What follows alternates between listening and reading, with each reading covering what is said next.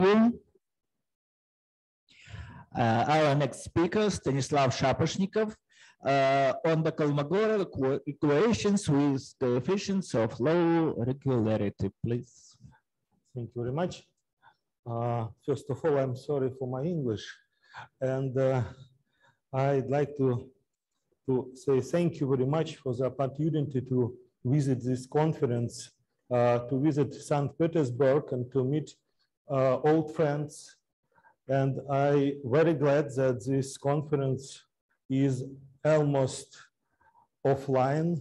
It's a very, very big thing in our time. Thank you very much. And um, my, I, I, I- I think my report uh, will not be very difficult. I give several examples, several statements, and several questions. And uh, the title of my talk, uh, my talk is about regularity theory. It is not very expressive title, very expressive branch uh, of the PDE, but I think it is very interesting when we uh, consider the very interesting equations. Um, we consider the so-called Kolmogorov equation or double divergence form equation. The main motivation comes from the diffusion processes where the stationary distribution satisfies this equation, firstly. The second thing why we like to study this equation is uh, uh, the green function satisfies this equation. And uh, the third thing, this equation is a, a real adjoint equation for the uh, non-divergence elliptic operator. Certainly, if we consider the case when coefficients A and B are smooth and solution rho is smooth, then we can calculate the derivatives and obtain ordinary elliptic equations with uh, um, terms of lower order. But uh, it is not right intuition that this equation is ordinary elliptic equation.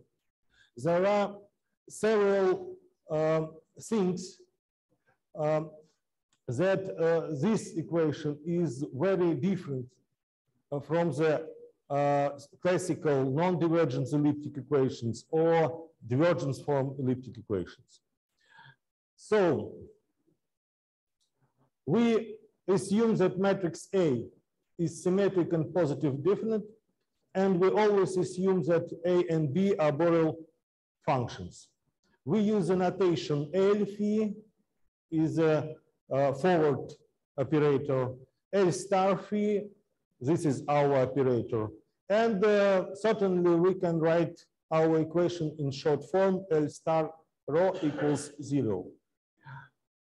Our definition of the solution, we say that the function rho, function from the L1 log, is a solution to the equation one if A rho and B rho is integ locally integrable with uh, respect to Lebesgue measure. And uh, for every function phi, smooth function with a compact support, uh, the following integral equality holds. So this is a typical uh, definition. Uh, in some sense, we understand this equation in uh, the sense of distributions. I like to present very toy and very simple example, but very important for us. Let us consider the one-dimensional case. Let b equals zero. And uh, let coefficient a is uh, positive, strictly positive. Um, say nice function, let a is a continuous function. Then we obtain trivial second order equation. The second derivative of a rho equals zero. We can solve it immediately. And uh, what we see? We see the function rho equals uh, the ratio of the affine function and the coefficient A. Now, let us assume that A is continuous function, but everywhere is non-differentiable. Then rho will be continuous, but rho is not from the Sobolev class. And uh, moreover, if A is Hölder continuous, rho is Hölder continuous, but not in, from, in general, from the Sobolev class. Uh, in general, there is no derivatives of this solution. This is one-dimensional, very trivial example, but this is very, very important for our motivation. The net example is not trivial. This is a very nice and very interesting result uh, that was obtained by Patricia Bauman uh, 38 years ago uh, in a short paper. She constructed uh, the, uh, uh, the example where matrix A is non-degenerate and continuous. We consider the equation with zero coefficient B, and this equation has locally unbounded solution rho. Non-negative locally unbounded solution rho. Uh, this is a very uh, non-trivial example because uh, the construction is non-trivial, but this example based on the another non-trivial example. And uh, uh, it is uh, very interesting to construct analogous example, say in the case where when A is not continuous, but let A will be non-degenerate and measurable. It, it seems quite uh, easier, but, but it is difficult. So we see, yes. it is locally unbounded, but uh, is it, uh, uh, but it, it doesn't uh, prevent uh, to have uh, locally sound derivatives.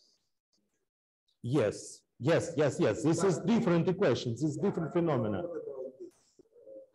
What about it? We, uh, we have non-degenerate continuous matrix A, but we obtain no uh, unbounded solution. Unbounded, but what was it uh, uh, uh, in in W11 log or not? Uh, in, in, in general, not because you always can, uh, if it has derivative, you can divide it by something and multiply by something without derivative. And Okay. uh, this, this is a trivial as it were, because, so, um, assume this very nice situation. A is bounded and non-degenerate, and assume that A is continuous and omega is a modulus of continuity. This is quite classical situation for the, for the matrix uh, in elliptic equations. So the first result, if B is integrable in degree P larger than D, then rho is integrable in every degree R. I recall that rho could be unbounded function, but uh, if B is sufficiently good, rho is integrable in every power R. So they're very natural questions, very natural questions. Uh, we know, and I formulated below, that um, if A not only continuous, but additionally uh, uh, uh, Hölder or Dini continuous, then rho immediately continuous and immediately bounded. So it is very interesting to describe the dependence, integrability, and the modulus of continuity. And um, this is some result about this. Uh, assume that we consider um, this function, uh, uh, modulus of continuity omega with this um, condition. and uh, consider this uh, function lambda t. Uh, one can uh, verify this if uh, omega satisfy Dini condition, this function lambda will be bounded. So this theorem gives the control of LP norm of solution rho. And uh, if we,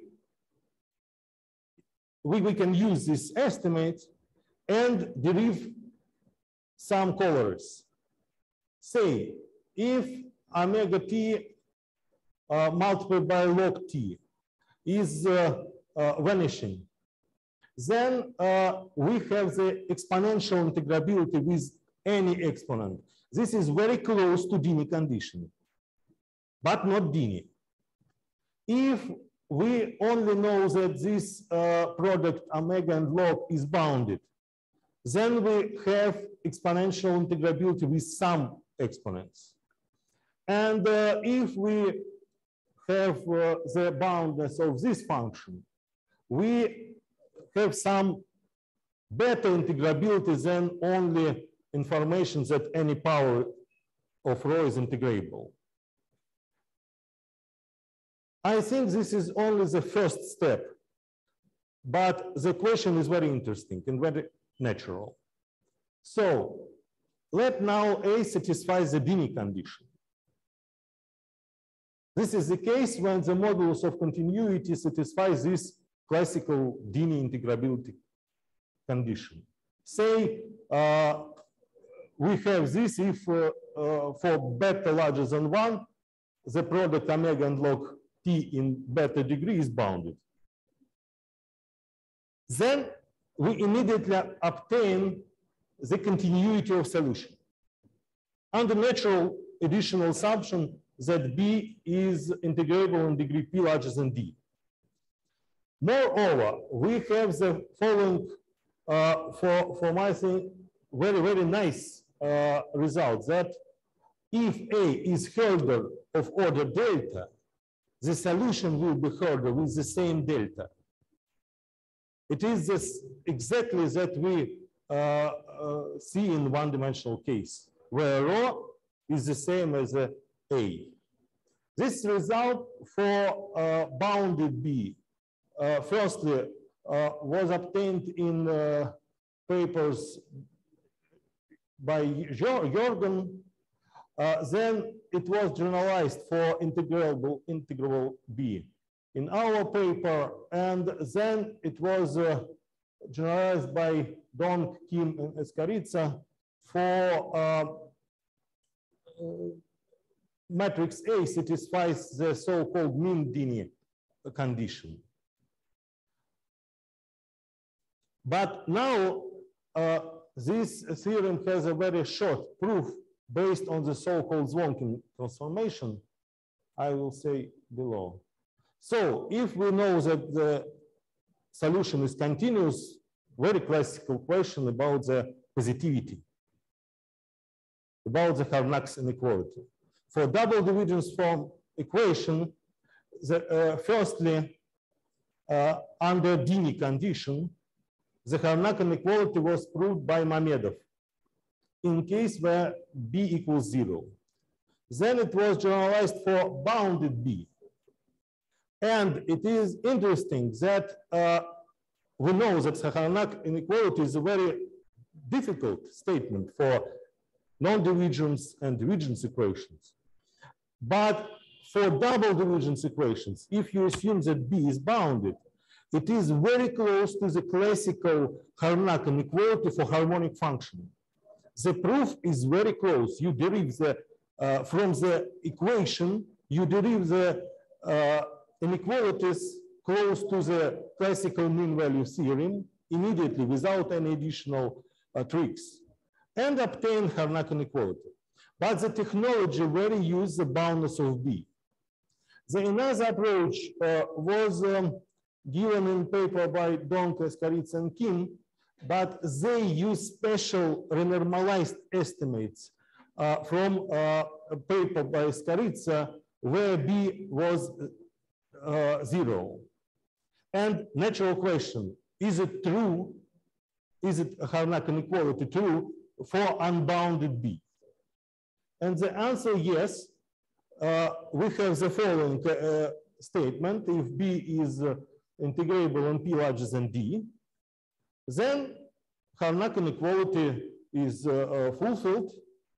And it is interesting that the proof very, very short, and I will demonstrate it below. And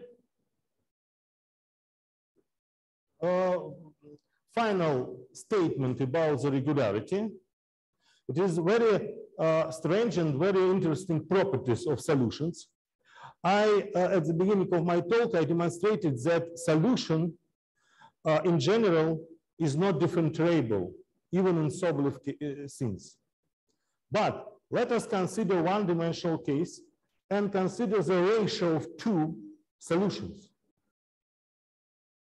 Here, there is no coefficient A, and this uh, expression is very nice, very smooth. So it is interesting that this is the case in multidimensional situation. Uh, let us consider two non-negative, uh, non-trivial solution. According to Harnack inequality, this solution will be positive, and consider the ratio of these two solutions. Then this ratio belongs to the classical Sobolev, log Sobolev class, W21, locally on the domain omega. Moreover, for this uh, function v, we have uh, several many nice inequalities with a convex function f. When coefficients and solution has Sobolev derivatives, then this inequality one can obtain from this equation immediately. But in this equation, you see the uh, Sobolev derivative you need. And uh, the result obtained in the following way. You obtain, the uh, uh, you obtain this estimate for the smooth case, and you know a nice theory for the Dirichlet problem for double divergence form equation, and use last estimates uh, from uh, regularity theory. So at the end of my talk, I'd like to say something about uh, transformations of the Kolmogorov equations. Um, um, in general, this will, uh, should be the first step when we say about the equations. How can we simplify the equation? This is the first question. And how can we find very nice uh, coordinates in order to solve or consider our equation? The first transformation left, two minutes left. Okay. The, the first uh, concerned with the increasing the dimension. This is the Khrushchev trick. The other one, uh, the trick how we can remove the potential term. You can consider uh, some uh, additional multiplicator. And the end so-called Zvonkin transformation very well-known transformation in the diffusion processes. This transformation uh, gives the possibility to replace bad drift by the very nice differentiable function. If you can solve the almost forward equation for, uh, uh, for our operator. So if uh, uh, the, the result that I presented uh, based on the following, we apply these transformations and obtain obtain uh, the equation with zero lower order term and apply known results for this equation. So uh, the talk is based on the uh, joint paper with Vladimir Bogachev, Mikhail Röckner, uh, and uh, other results can be found in the following references. Thank you very much. Thank you. Thanks, speaker. Please, questions and remarks? Uh, Yes, I think that uh, you can, uh, uh, we we can uh, P greater than d to the Dini uh, integral Dini condition. Yes, of course. Yes, of course. It, it, uh, we we try to to do something with A uh, and add B non-bounded. This is was main, main goal. Well, But If you wish. yes, Thank you. Uh, Am I right, you uh, base your examples on uh, Cantor-like uh, function A, uh, rho, or Um, or another type? fractional. Um, I don't know. It, it, uh, No, in in uh, in Bauman uh, example, it was uh, effect does not con- um, connected with um, it is not connected with uh, fractional Mm, uh, like Cantor uh, properties. no. Thank you. Uh, More questions, please? Maybe remarks? No? Uh, So thanks speaker again.